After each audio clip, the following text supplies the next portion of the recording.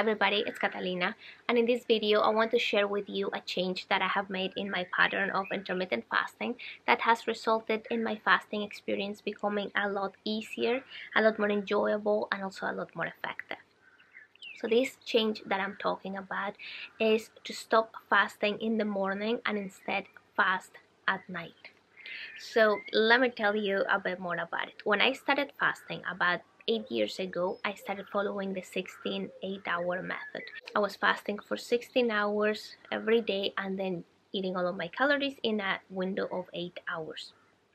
I did that for a while and it was great. I loved how I felt. It was just, I had all this energy and then I also lost a little bit of weight and then it just stopped working. So when it stopped working and I stopped seeing results, I started playing around with the length of my fasts and my eating windows.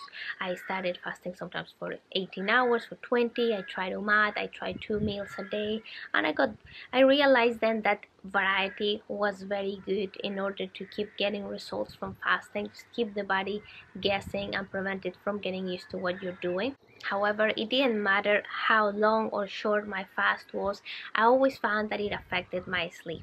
That on days I didn't fast, I had very good night of sleep, very restful nights, and whenever whenever I was fasting, even if it was just for 16 hours, my sleep suffered. And that was a bit of a nightmare because sleep is very important to me. And if I don't sleep well, if I don't sleep enough, I'm going to be more hungry the next day, so then fasting is going to be harder as well. So I wanted to find a way in which I could still get the benefits of fasting because I love intermittent fasting, but at the same time, you know, getting good sleep.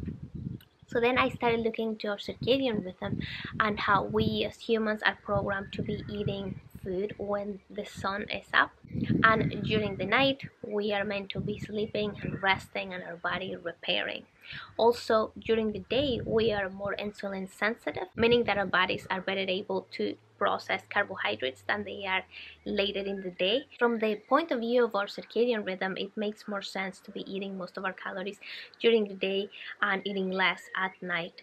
And this can be difficult because usually dinner is the most social meal of the day, but I'm telling you, it can definitely be done. So I started experimenting with it, and immediately I noticed a big difference in the quality of my sleep. I started having breakfast shortly after waking up. I then had a big lunch and then I had a small dinner that was early. So I was consuming most of my calories during the day and then at night um, by night I mean I'm having my dinner at about 5 or 6 p.m. which is early it gives me a lot of hours before bedtime for the food to go down for me not to be too full and it's a small meal as well so I still get to have dinner but it's just small. I started sleeping a lot better and also I thought I was okay with my workouts but I noticed a huge difference basically when I have food in my stomach when I eat then I get much better workouts. And have very active mornings anyway.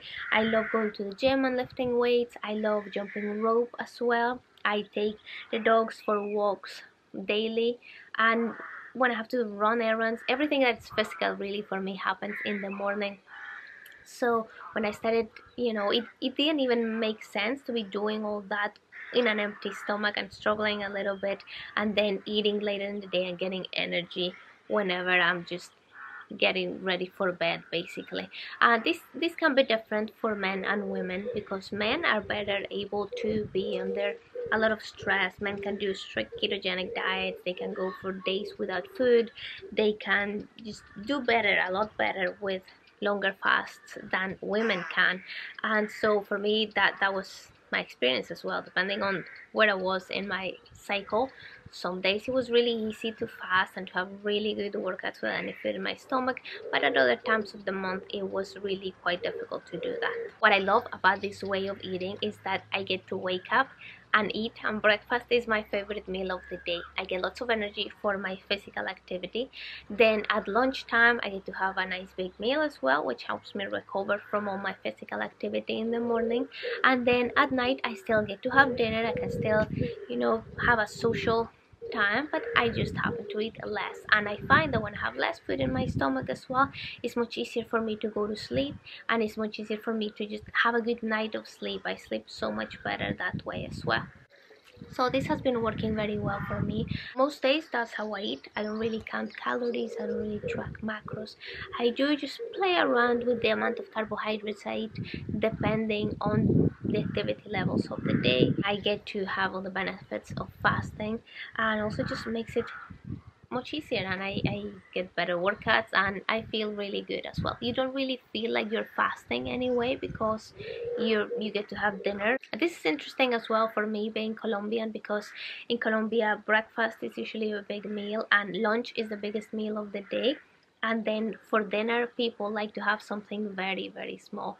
Um, my whole life i would hear people saying oh you don't want to have a big meal at night because it's very fattening and it will stop you sleeping well and so it's it's kind of funny to go back to that way of eating. So i wanted to share this information with you. It has been very helpful to me.